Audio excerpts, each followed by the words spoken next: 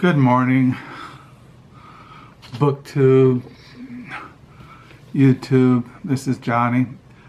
It's been a couple days since I made a video, so I thought I'd make a video because we're going into a new week tomorrow. This is a Saturday here in West Michigan. It is 10 o'clock in the morning on February the 6th. And uh, it's been snowing here, very cold. Uh, we live by Lake Michigan, so we get lake effect snow.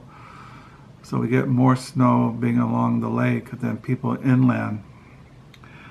So I hope you had a good week, a good reading week. I pray that you're all well, not sick with the COVID-19 plague. I am, uh, as I do every morning, I'm having my devotions or I'm just reading my Christian books in the mornings. I suppose the best time for me to read when I'm, I'm most alert is in the mornings, even though I don't sleep well at night. I tend to be more, it's kind of like a habit. And uh, I've been reading uh, of Saxony, were Rudolph of Saxony, The Life of Jesus Christ, Part 1, Volume 1, Chapters 1 through 40.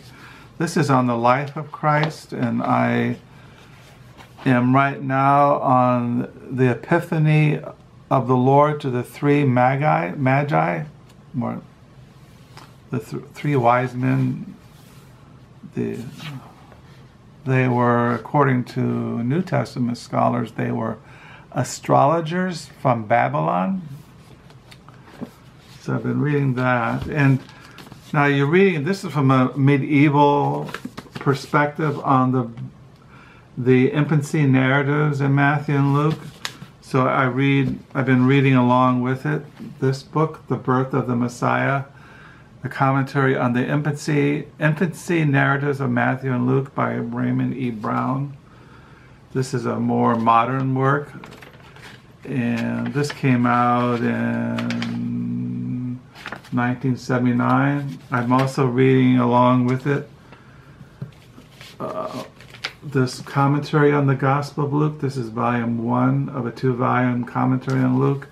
This is Luke chapters 1 through verse 1 to chapter 9, verse 50. This is a Baker exegetical commentary of the New Testament by Darrell L. Bock. And then I'm also reading in the Gospel of Matthew, this commentary, the Gospel of Matthew by R.T. France, the New International Commentary on the New Testament. So I read these to read the birth narratives in Matthew and Luke from a more uh, modern New Testament perspective instead of a medieval commentary perspective. So I'm reading that in the mornings today. As far as my diary, I'm on page 129 for the year 2021, here on February the 6th, 2021. Yeah, I was reading on the, the Gospel of Matthew, the birth narratives there, and I was reading the part, I'm really, I'm coming to the part in Luke where Mary and Joseph dedicate uh, Jesus in the in the temple, which is in the Gospel of Luke. So yeah, I've had a normal week. Uh, it's been snowing. Uh, everybody's fine here my wife went to uh, do errands this morning, go to grocery store and get a prescription and things like that. It says here, um,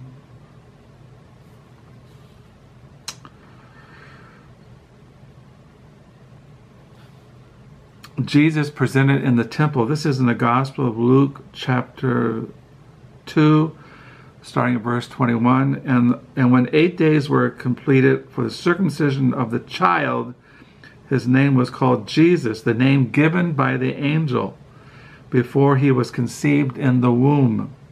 Now, when the days of her purification according to the law of Moses were completed, they brought him to Jerusalem to present him to the Lord. As is written in the law of the Lord, every male who opens the womb shall be called holy to the Lord. And to offer a sacrifice according to what is said in the law of the Lord, a pair of turtle doves or two young pigeons. So that, that's what I was reading about in these commentaries. Uh, reading also Rudolph or Lobnoff or Rudolph of Saxony. I also been reading yesterday morning. I was reading uh, volume two, Reformed Systematic Theology, Man in Christ. I've been reading this section on the three offices of the three office of the med, one mediator, uh, prophet, priest, and king. Uh, this is by Joel R. Beeke and Paul M. Smalley. The third volume of this massive work is coming out in the spring.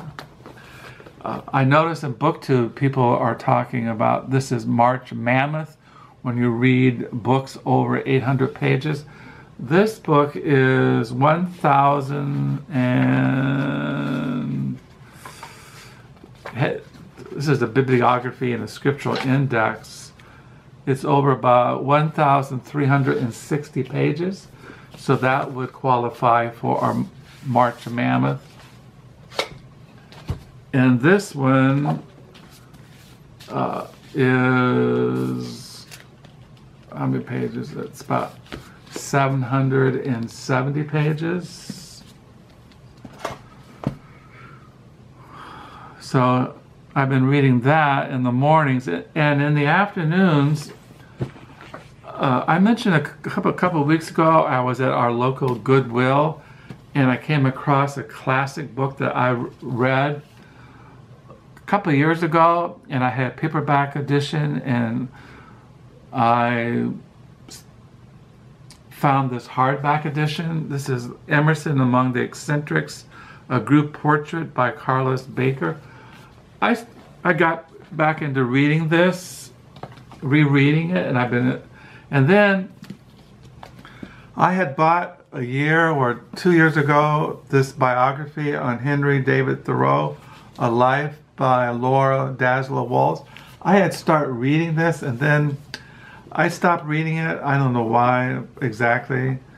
But then I decided, since I was reading about Henry uh, uh, Henry David Thoreau and this, Carlos Baker's uh, biography on Emerson, David Henry David Thoreau, the Alcotts, Nathaniel Hawthorne, uh,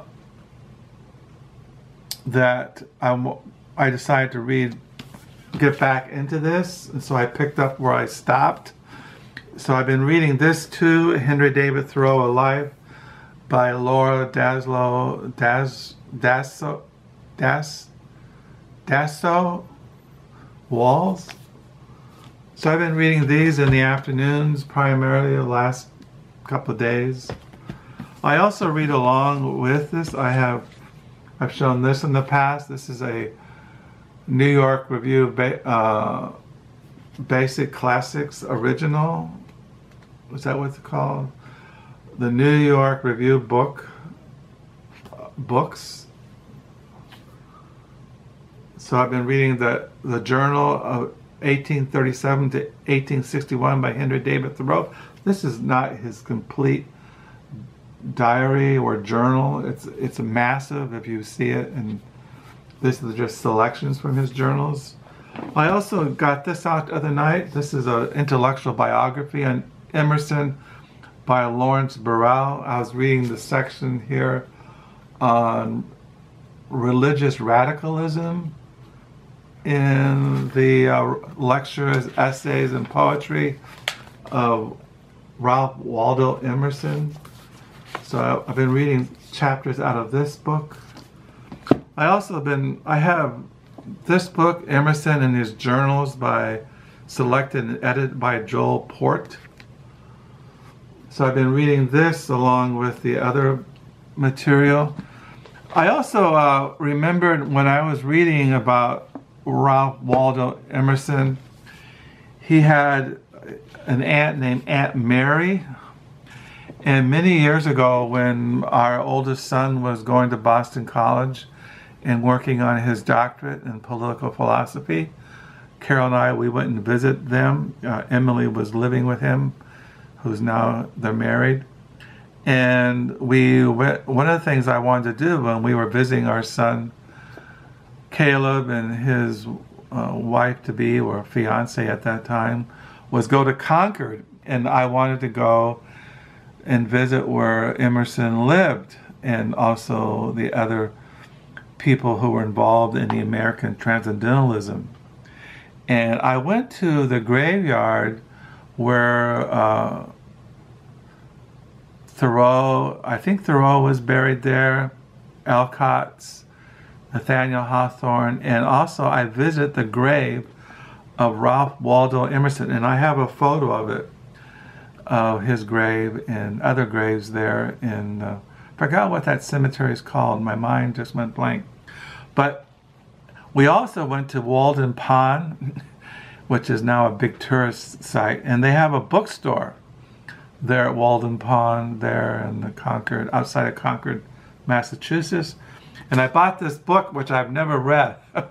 it's called Mary Moody Emerson and the Origins of Transcendentalism, A Family History by Phyllis Cole. I never read this, but I noticed when I got out, I still have in here the uh, the sales slip of the book. uh, the Thoreau Society shop at Walden Pond. This, my wife says we were there in 2008. We were there in the autumn, in October. And uh, I bought this book, which I've never read, but I got it out to look at. Oh, thing went, got blurry all of a sudden. So yeah, this book cost me $37. $35. It's an Oxford University Press, but I should read it, so I got out to look at it. So yeah, it's called Mary Moody Emerson and the Origins of Transcendentalism of Family History. It looks kind of interesting. Maybe I'll get into it now that I'm reading Carlos Baker's Emerson Among the Eccentrics, a group portrait. I'm also reading Henry David Thoreau, A Life by Laura Daslow Walls, and reading uh, Emerson Intellectual Biography by uh, Emerson by Lawrence Buell. So these are kind of things I've been reading the last three or four days as I uh, we're kind of hunkered down here in the house due to the snow and the bitter cold weather. In the mornings, I'm looking at the birth narratives of the Lord Jesus Christ, the Messiah Christ, the birth of the Messiah by Raymond E. Brown, looking at the Gospel of Matthew commentary by R.T. France. R.T. France, uh, I highly recommend all his books. He's written other books that are worth, uh, like he has Jesus in the Old Testament. I think he has a book on Matthew and discipleship he has other commentaries. And looking at uh, Bock on Luke, his first volume of a two massive two volume. He also wrote a commentary on Acts. As you all know, the Gospel of Luke and Acts all go together. So I have his commentary on Acts too. And reading Rudolph of Saxony on the life of Jesus Christ, and reading Beeke and Smalley on Christology, looking at the three offices of Jesus as mediator, prophet, priest, and king. Writing in my diary, uh, I have I don't I have a, a, systematic theology coming in the mail.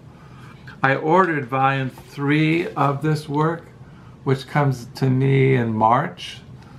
Uh, volume three, no, it's it's volume two. This is what, yeah, it goes.